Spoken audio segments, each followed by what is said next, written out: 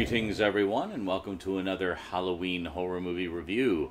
Today we continue our journey through the Universal Monsters saga with 1936's Dracula's Daughter. Yes, the only direct sequel we ever got to the original Dracula. So let's check it out today on the Multimedia Chronicles.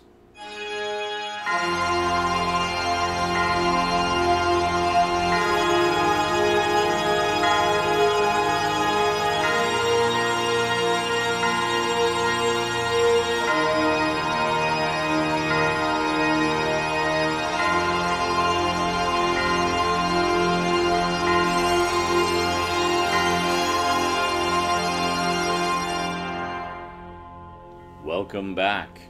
So, Dracula's daughter picks up literally about a minute after the end of the original Dracula. Uh, two police officers go down the stairs of Carfax Abbey and find the body of Renfield at the bottom of the stairs, and then they find Dr. Van Helsing and the body of Dracula with a stake driven very visibly through his heart. Now, it's interesting to note in the original Dracula, all of that was done off screen. We saw Renfield fall off the stairs, we didn't see him land. We saw his body at the bottom after.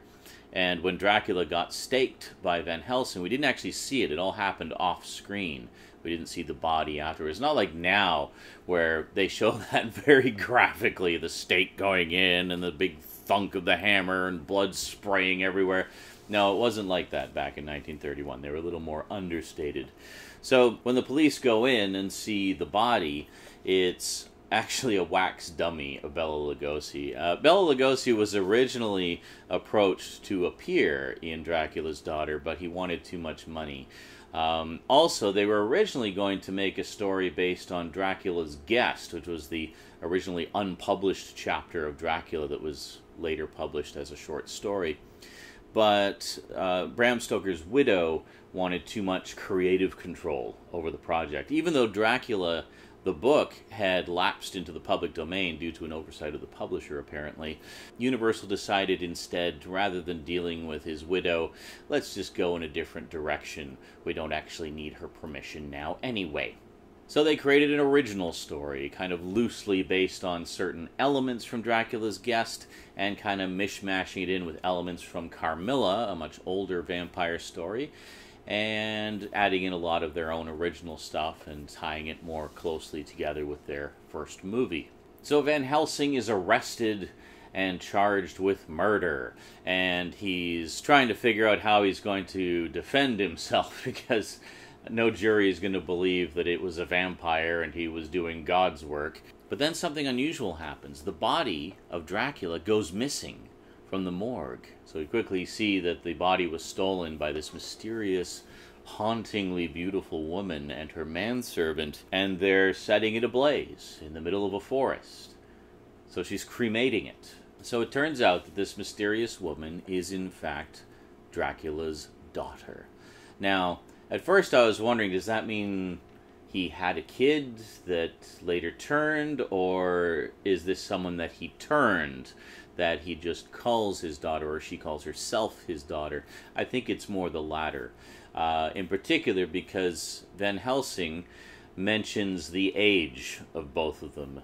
He says that Dracula was over 500 years old, she was over 100 years old. So it's clearly someone that has been turned, that for whatever reason he made into a vampire, much like the vampire women back in Transylvania, I guess but she went off on her own rather than having anything to do with her father. Now, the thing that's interesting about Dracula's daughter contrasted with Dracula, Dracula was pure evil. I mean, he was an absolute force of evil out only for himself. He was pure malevolence through and through. Now, she, on the other hand, the Countess Marya Zaleska, is not an evil character in that she actually wants to stop being a vampire. She's tired of it. She just wants to live as a normal human and live out the rest of her days. Her assistant, however, Sandor, thinks otherwise that no, you're a vampire. You can't go against your nature. You are what you are. So she thinks that by destroying the body of Dracula, she will be free of the curse. Sandor, her assistant, however, does not believe this. And on the one hand, he's trying to convince her of the folly of her logic, but at the same time allow her to discover the truth for herself without unintentionally destroying herself. So he makes sure she gets back to her coffin before dawn and things like that. So she meets and befriends a colleague of Van Helsing's who is a psychiatrist specializing in different types of psychoses and mental delusions. He's skilled in hypnotism and that sort of thing. And she gets the idea that maybe she's only staying as a vampire because it's all in her mind. She sort of takes it for granted that she is. The psychiatrist, who doesn't know she's a vampire yet, suggests that she puts it to the test. So normally at night she would go out hunting and kill somebody to quench the thirst. This night, however, she decides to go out and find someone and see if she can not kill them. So one of her pastimes is as an artist. So she sends her servant out to bring her a young girl to pose for her. And I have to say the character of this this young girl, young woman in her early 20s, absolutely beautiful, just the purest of innocence. And the actress who played her did it so beautifully and so perfectly. She was so sympathetic and you felt so bad for her. You knew that no matter what the Countess's initial intentions may have been, you know this isn't going to end well for her. And you feel so bad. She's so sweet and so nice and so innocent and so willing to, you know, just kind of go along and be her artist's model or what have you. But yeah, you you just know. Kind of an amusing subtext to this I noticed in my uh, reviewing for this review was it also seems to be the story of the assistants to everyone. There's the assistant to the psychiatrist who is this very headstrong woman who helps him out and he's kind of gruff and full of himself and won't have any of her nonsense sometimes but she's also very strong-minded strong-willed and knows that he needs her to help with different things uh, even something as simple as tying his tie you know she tries to resign but he won't let her and she's like, Well, I resign. And it's like, No, you didn't. Come on, let's go. We got something to do. And it's like, Fine. Because she knows they need each other in a strange way. And it's much the same with the Countess Zaleska and Sandor. Whereas the Countess is trying to better herself and change herself and not be what she is. Whereas Sandor is trying to keep her grounded and say, Hey, that you know, this is what you are. You can't change what you are. It's not just a state of mind it's not a curse that you break by cutting off the head of the, the serpent. No, it's what you are. I have to say also, the actor who played Sandor was wonderful in this. He emanated this subtle evil, where he knew that the Countess was just deluding herself, but he kept trying to pull her back. Like, she's playing this beautiful song on the piano. It's like, listen, listen to the music. It's it's a sound of being free. And he's like, no, it's not. That is a song of evil. And she says, listen, you can hear wings flying through the trees. He's like, yes, the wings of bats. He's like, this is a song of life. It is a song of death.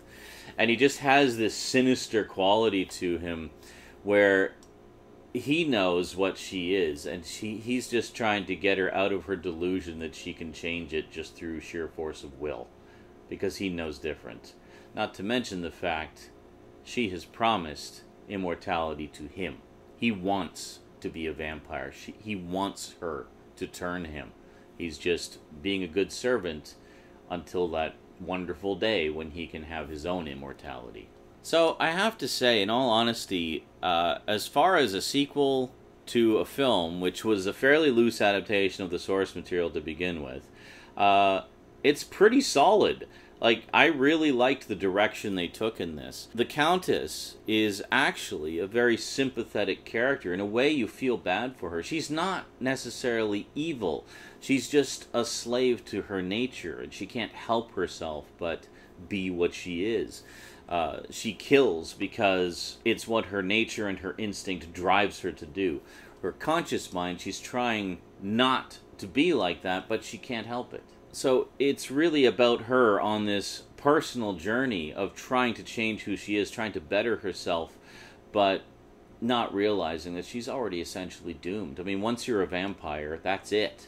There's no changing it. It's not like some legends where you kill the head vampire or the head werewolf or what have you, and it breaks the chain of the curse, and everybody turned after the fact turns back to normal.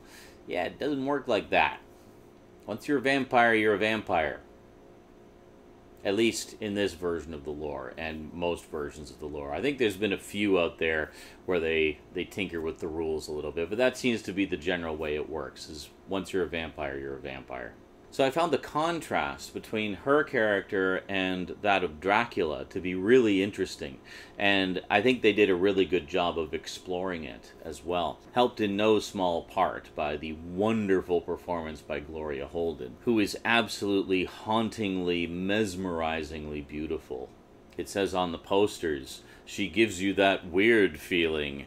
Well, yeah, she kind of does, actually, because whenever she's on the screen, either staring intently at a character or directly into the camera, you can't look away. It's absolutely mesmerizing.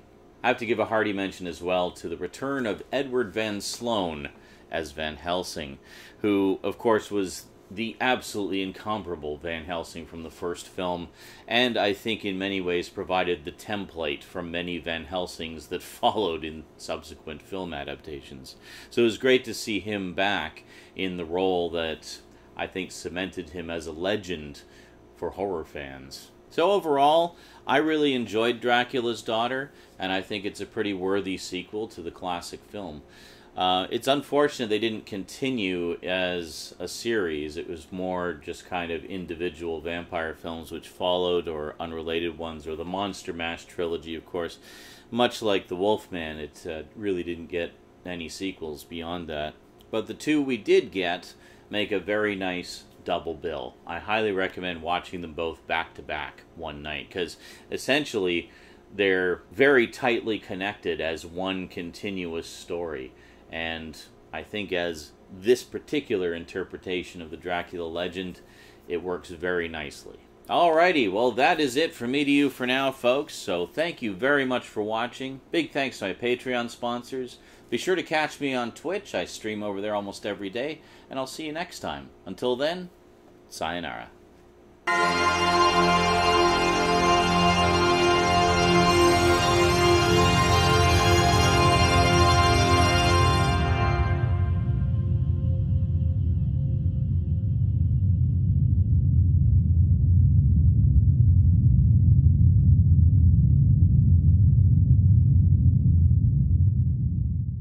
Yeah, see, this is kind of working. As long as I don't move around too much, it should be fine. just, it's literally just sitting on my shoulders. Welcome back. So, Dracula's daughter continues blah. Blah, blah, blah, blah. Welcome back. So, Dracula's daughter picks up roughly one minute after the end of Dracula.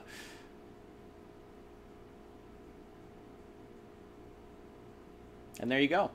That's all you need to know.